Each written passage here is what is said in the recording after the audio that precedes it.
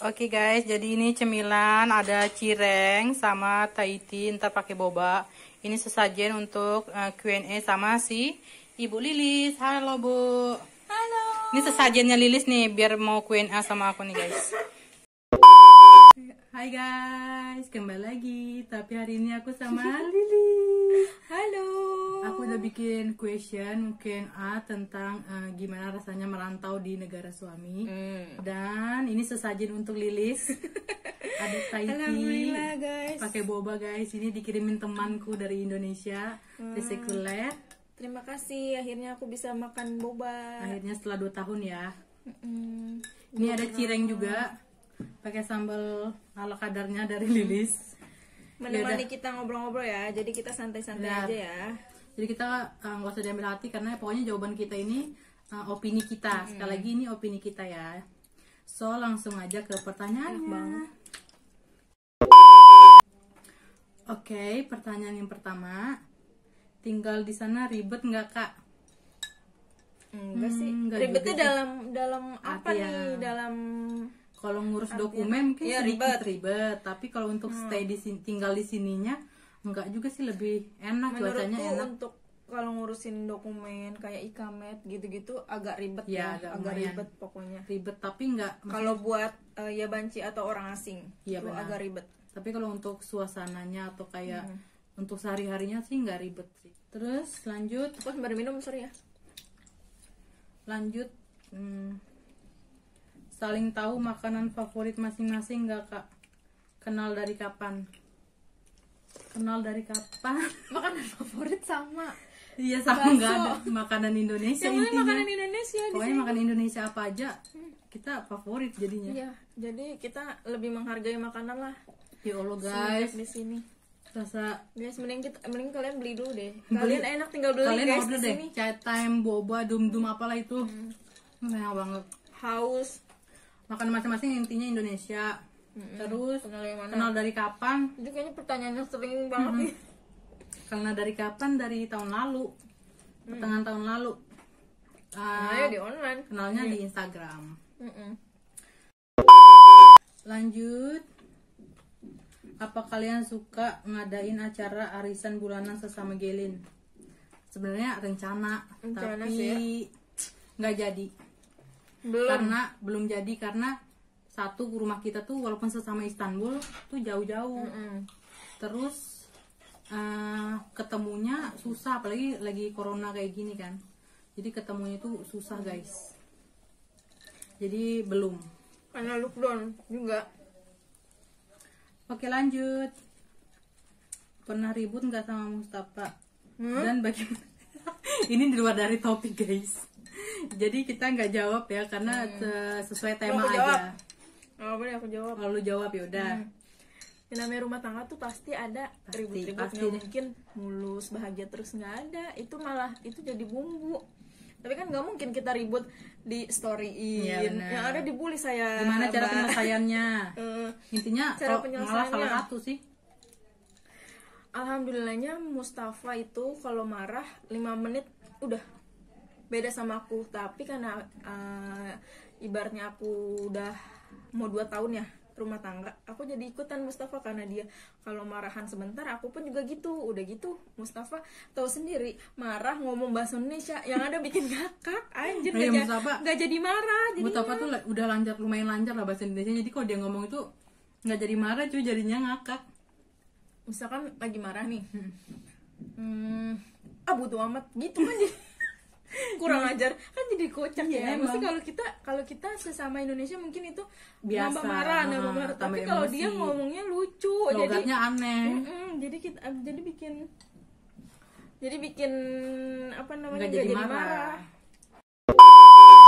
Oke lanjut. Sering homesick nggak sering nggak sering sih lumayan lah. Saya nggak punya rumah di Jakarta jadi saya nggak ngerasain homesick. dulu iya dulu. Homesicknya tuh waktu baru-baru. teman keluarga makanan lagi-lagi makanan. Memang yang susah itu emang makanan sih. Jadi kita harus berkreatif sekreatif mungkin. Aku lumayan sering karena baru kan masih setahun. Jadi masih kayak kangen-kangen kalau Lilis mungkin udah terbiasa terus juga ada mamanya di sini jadi nggak terlalu homesick jadi banget. bisa masak.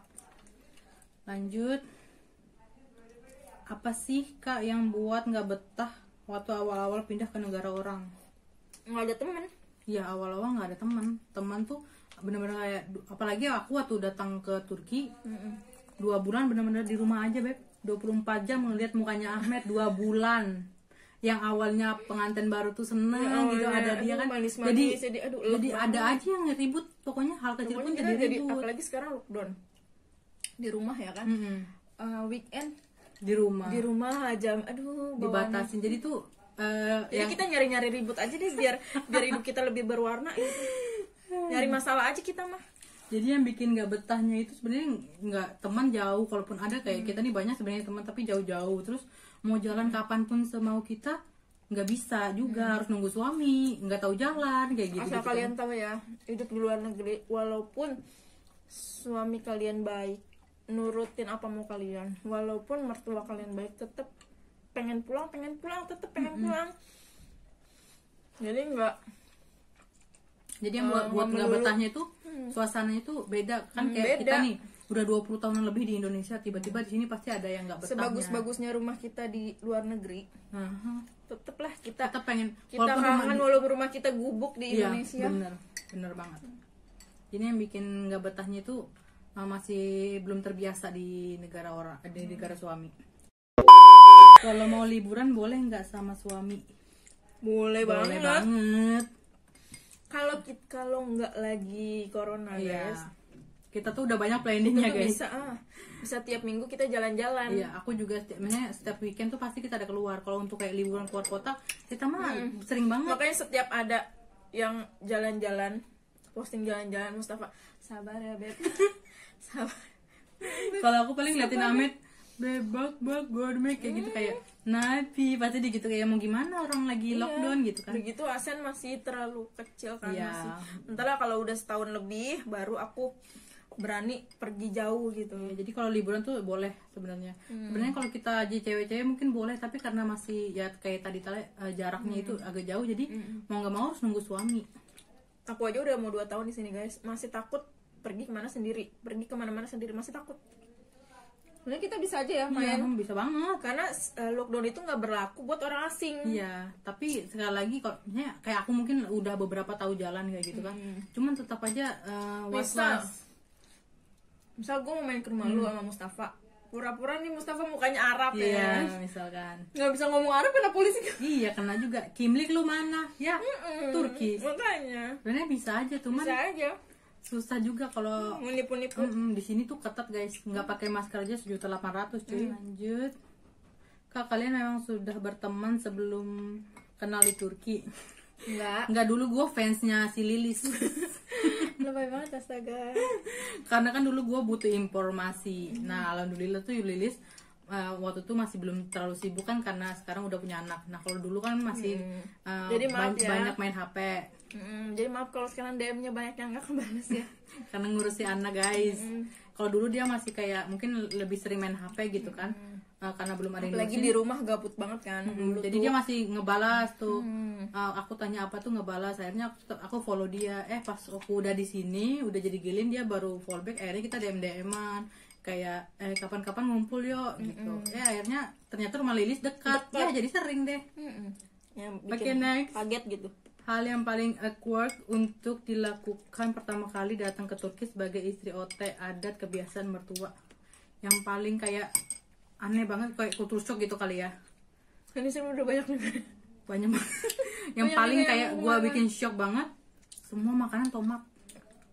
Bumbunya apa pun tomat tomat tomat sampai Hmm. pernah kelahi sama Ahmed gara-gara tomat.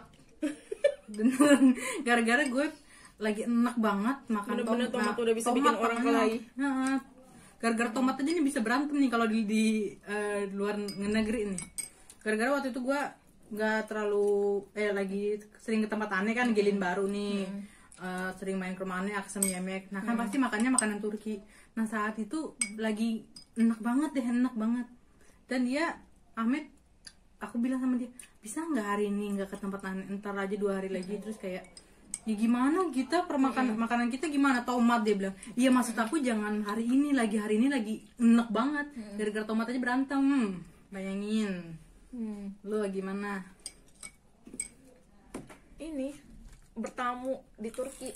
Yang pertama bikin gue syok tuh bertamu di Turki. Bertamu di sini guys.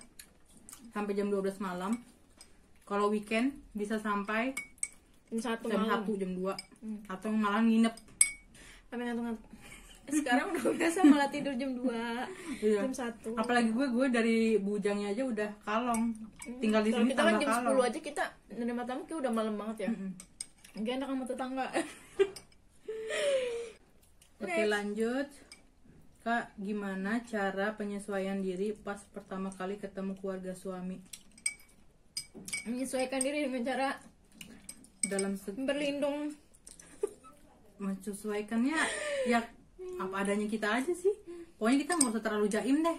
Ya, mending jadi Apa apa adanya adanya aja. Misalkan memang nggak suka biar orang. Turki biasa makan nggak pakai tangan kita Ya, yang lain pada pakai sendok gue dong bodo amat Ya pokoknya jadi diri kita aja. jangan kayak jangan kita terlalu membiasakan adat mereka. Kalau kita tunjukin juga Jangan- kita punya adat gitu kan. jangan maksa Memang udah Biasa kebiasaan aja. kita kayak gini. Jadi jangan merubah diri kalian. Tetap apa adanya. Jadi tapi biar tetap saling menghargai Iya, gitu. jadi biar mereka juga menghargai adatnya kita, mere- kita juga bisa menghargai. tapi lama-lama karena mereka adatnya kental banget ya Iya. kebiasaannya kental ke semua orang gitu jadi kita lama-lama kita Sama tahu gue sekarang makan kue pakai garpu kayak orang sultan sekarang dulu kan pakai sendok, sekarang pakai garpu karena keseringan mereka makan dessert pakai garpu.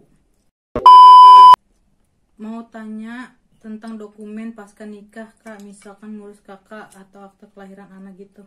Nah, yang kalau untuk pasca nikah bikin ikamet ke kartu keluarga itu udah ada di video aku yang ngurus ikamet. Kalian Nah, bisa nonton, bikin kerjaan lu ya. Terus kalau yang untuk akte aku untuk eh, akte itu nanti pas rencananya kalau mau bikin paspor jadi biar sekalian, sekalian berangkat semuanya. dokumennya karena Mm, Kartu itu di keluarga. Istanbul Eropa guys. Jadi lumayan jauh kalau kita untuk di Asia. Jadi biar sekalian jalan.